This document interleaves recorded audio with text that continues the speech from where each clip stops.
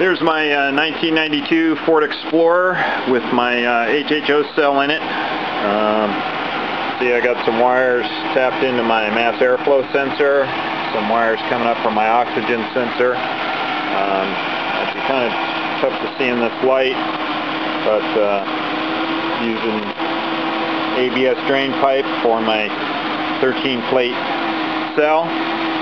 Um, got the uh, zero fossil fuel PWM circuitry here with a old CPU heatsink on top. Um, go inside here and uh, show you what I got going on inside. So uh, here's the back of my uh, control panel. Um, I've got the uh, battery-based EFIE. If you want to see my other videos, We've got uh, city and highway uh, potentiometers here. And uh, also have a, a, relay in here so when I shut my cell off I um, short out both my uh, MAF and my EFIE control signals so we go back to stock. So uh, I get the glare. I'm going to turn the light off here so we can see what's going on on the oscilloscope. So, um, as you can see, uh, this is the output of the oxygen sensor, and you can see the waveform that um, the computer is actually doing here. So, I have the cursor line set there um, at uh, uh, 200 millivolts per division. So those two lines are between 200, 400, and 800 millivolts. And as it crosses the center line is the value that the uh, 14.7 to 1 uh, air-fuel mixture. And it's interesting to see how the ECU um, kind of doesn't do a normal oscillation.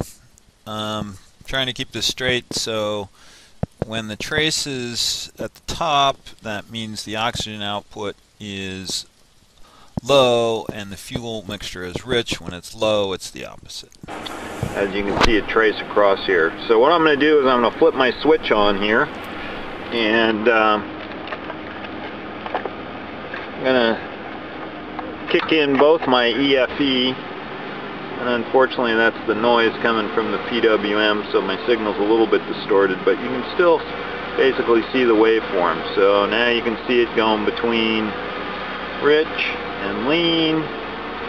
The interesting thing here is, is it's just showing that I do have it set up so the ECU is happy. So I'm not throwing codes. I don't think I think I'm still closed loop because I would think open loop would just be, and you can kind of see that the ECU is doing the same kind of thing that it was before.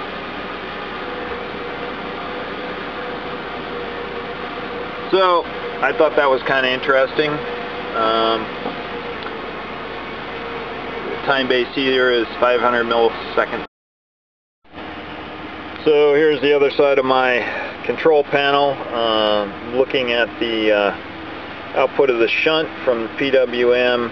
Uh, it's not quite calibrated. It's really drawing about 20 amps right now. And I do extend a probe line out and uh, you can see the uh, O2 sensor uh, output there.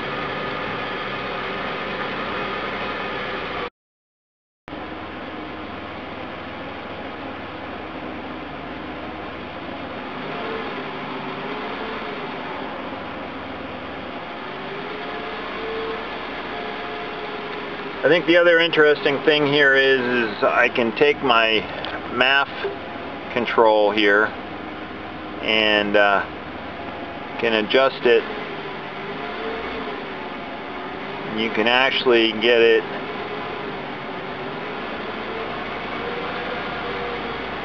you know, with staying staying lean which is uh, exactly what you would think as I increase the um, MAF resistance uh, the ECU believes that there's uh, less throughput through the engine and therefore uh, reduces the mixture. Um, so it's kind of cool. And then when I turn it back, um, the MAF deck, you could see it hang uh, uh, rich for a while.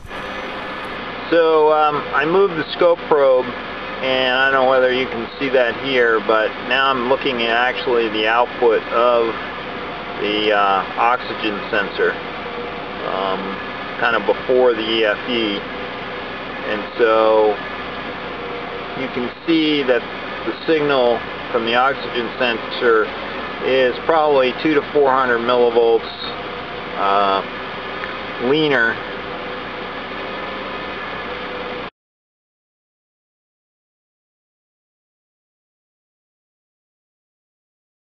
so that uh, I'm offsetting the uh, oxygen sensor I think about 300 millivolts to try to bring it back to the normal range. So now the big question is is uh, the 850 milliliters per minute of uh, HHO I'm producing is it enough for a 4 liter motor? Uh, certainly I would like to get more output, uh, and I'll be working on that.